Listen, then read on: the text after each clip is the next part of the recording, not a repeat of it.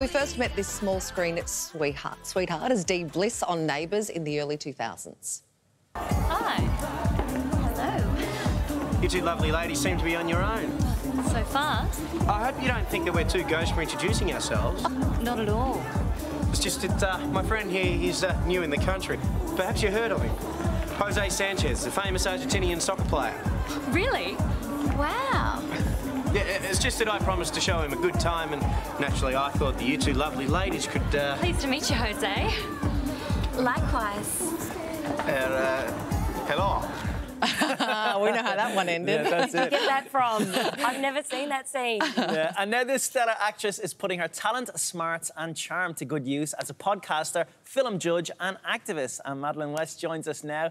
It's such a pleasure to speak to you. Oh, thank you so much for having me back again. It's nice to be on the couch. Of course. You got to away for those lady killers there, the two. um, it, has been a bit of, of a heartbreaking week for uh, Neighbours. It's just been announced after 37 years it's going to stop airing now in September. You spent two stints on Ramsay Street. How, Three, how's your feeling? Actually, Three? As twins. Two, yeah, oh, yeah.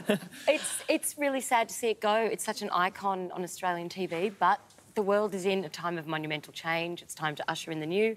And at the end of the day, I'm just very proud to say I am the only woman in history who married Toadie, died, came back from the dead, and then as his as my own evil twin had his miracle babies. So I'm pretty happy. It's quite a storyline. Although your your own personal storyline is quite busy as well. You've got so much going on, Madeleine. Um, you're, you're a mum to six kids, and you've also got a podcast. I have restart. Very proud of that with Mamamia. In fact, our beautiful Narelda was a guest and said that she's had text messages from people who've said that it's changed their lives. Well, What's that it all the about? whole premise of it. Narelda is the perfect example. It's about people who have gone through a cataclysmic crisis, whether it's a career change, a divorce, a health crisis, and have decided to hit restart on their lives and what that looks like. So a lot of it is based on my own story, but also the story of incredible people like Narelda, Julie Bishop, Bryony Benjamin, Michelle Laurie, people who have actually done it. And hearing their stories is so inspiring. I've had nearly 10,000 people reach out to me and say, thank you. Thank you. You said what I couldn't, and now I'm doing it. I'm changing my life. Wow. Wow, it really is great. And you're inspiring the next generation of filmmakers as well. You're judging this weekend at Victoria's largest outdoor film festival, the Peninsula. Um, what kind of talent are you expecting to unearth?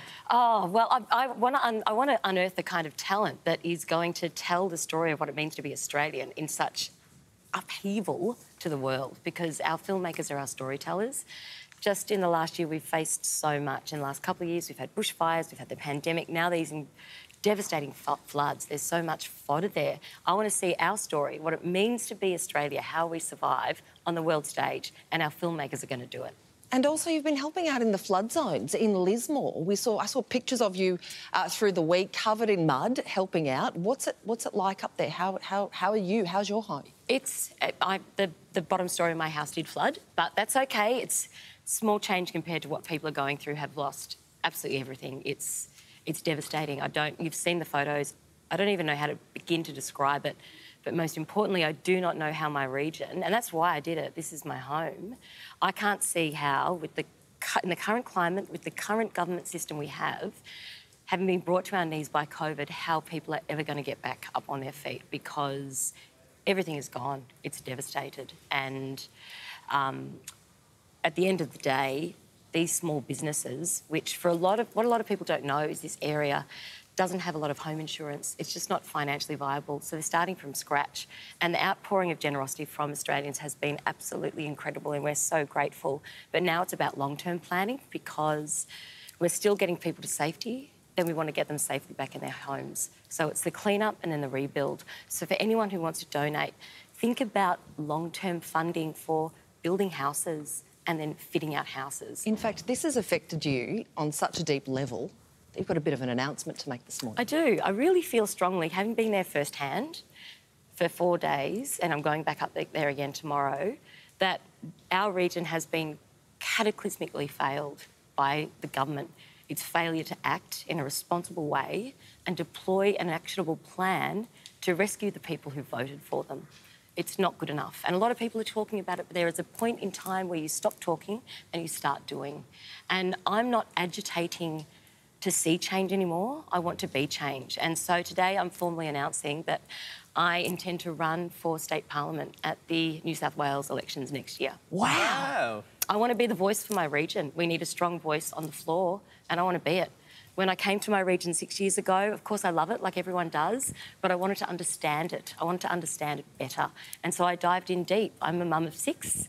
I want to see the region flourish. I want to see my children flourish and everyone's children to flourish there. And so I've worked with the homeless. I've been doing my homeless facilitator training. I'm an environmentalist. I've been spending three years regenerating the Big Scrub, which was Australia's most significant rainforest throughout the region. I teach drama. I'm about raising the voices of young women and breaking the bias, closing the pay gap for women in the workforce. And now managing these floods and making sure. I think that the, what all Australians need is a reassurance that this won't happen again. Mm. It happened in the bushfires. Why did we have a two year Royal Commission if it's done nothing?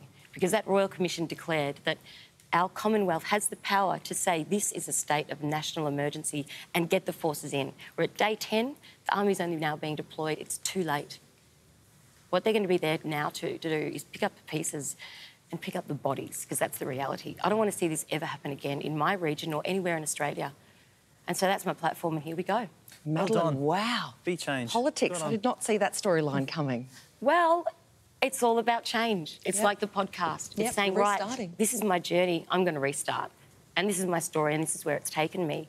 And I'm determined to be a voice for change. Mm. Madeleine West, you are one incredible woman. For tickets to the Peninsula Film Festival this weekend, head to the website on your screen now. Madeleine West, thanks so much for joining us today. Thank you so much. And again, thank you to Australia. You've really proven what an incredible country are. It's all about not what divides us, it's what unites us, and the time is now. Well it. done. Well said.